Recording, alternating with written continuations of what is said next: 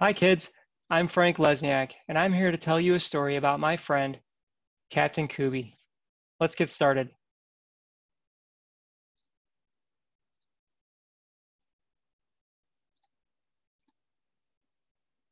One day, my daughter Zoe came to me and said, Daddy, what is that owl doing on your shelf in your office?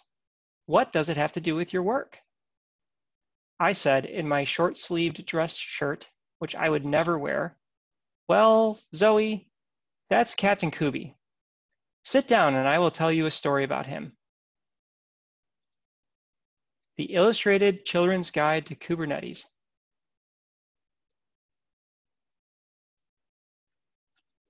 Once upon a time, there was an app named Phippy, and she looked just like your little giraffe there.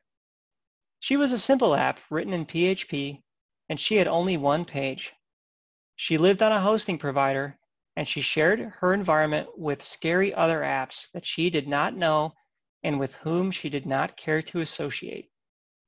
She wished that she had an environment of her own, just her and a web server that she could call home. An app has an environment that it relies upon to run. For a PHP app like Phippy, that environment might include a web server, a read-only file system, and the PHP engine itself. One day, a kindly whale came along. He suggested that little Phippy might be happier living in a container, and so she moved. The container was nice, but it was a little bit like having a fancy living room floating in the middle of an ocean. A container provides an isolated place for an app like Phippy to live, together with its environment. However, isolated containers often need to be managed and connected to the external world. Shared file systems, networking, scheduling, load balancing, and distribution are all challenges. The whale shrugged its flippers. Sorry, kid, he said, and disappeared beneath the ocean's surface. But before Phippy could even begin to despair, a captain appeared on the horizon, piloting a gigantic ship. The ship was made of dozens of rafts, all lashed together. But from the outside, it looked like one huge boat. Kubernetes is the Greek word for a ship's captain.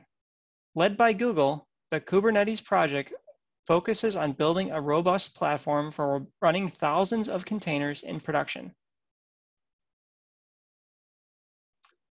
As the boat bumped up against Phippy's container, Phippy introduced herself. Hi, I'm Phippy, said the little app. Nice to make your acquaintance, said the captain as he slapped a name tag on Phippy. An awkward way to greet someone for the first time. Kubernetes uses labels as name tags to identify things. Labels can be whatever you would like. You can use them to indicate the role of a container, its criticality, or other essential attributes. Captain Kube suggested that the little app might like to move her container to a pod on board his ship. Phippy happily agreed, and the Captain Kube helped her move her container aboard. For the first time in a long time, Phippy felt at home. A pod represents a runnable unit of work. Usually, a pod only runs a single container, but for cases where a few containers work better together when right next to each other, you may opt to run more than one container inside of the same pod. Kubernetes takes on the work of connecting your pod to the network and the rest of the Kubernetes environment.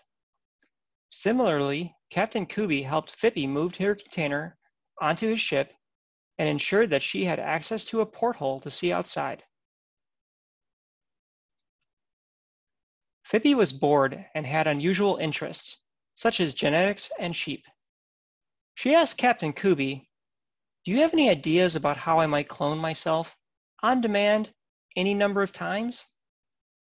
After checking international laws governing this sort of thing, the captain said, That's easy.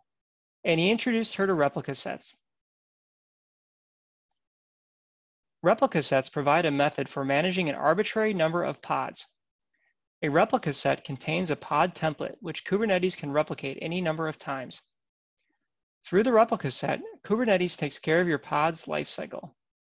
That means that if you need more than one Phippy, or one Phippy awake at any time while others are napping, or if you need to keep an eye on your Phippys, replica sets can do this for you. For many days and nights, the little app was happy with her pod and her replicas. But only having yourself to keep you company is not ideal, even if there are three copies of yourself.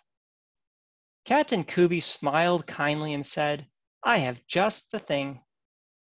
No sooner had he spoken than a tunnel opened between Phippy's room and the rest of the ship. With a hearty laugh, Captain Kube said, Even when your clones come and go, this tunnel will stay here so that you can discover other pods and they can discover you. A service tells the rest of the Kubernetes environment, including other pods and replica sets, what services your application provides. It's like Phippy and her replicas having a sign on their door that read, Cute PHP app. While pods come and go, the service's IP addresses and ports remain the same. Other applications can find your service through Kubernetes Service Discovery. Phippy began to explore the rest of the ship. It was not long before Phippy met Goldie, and they became the best of friends. One day, Goldie did something extraordinary. She gave Phippy a present. Phippy took one look, and the saddest of sad tears escaped her eye. Why are you so sad? asked Goldie. I love the present, but I have nowhere to put it, sniffed Phippy. But Goldie knew what to do. Why not put it in a volume? A volume represents a location where containers can access and store information. A volume appears to the app as part of the local file system. Volumes may be backed by local storage, Ceph, Gluster, Cloud Block Storage, or several other storage backends.